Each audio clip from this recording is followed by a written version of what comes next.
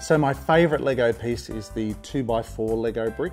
The reason that I like it so much is it's incredibly versatile. Um, people often say, uh, how, uh, what do you call those particular pieces? They all have different configurations. Some people call that like an eight stud brick and things like that.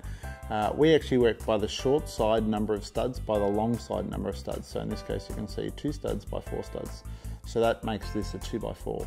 And uh, it's quite thick, so this is a two by four brick.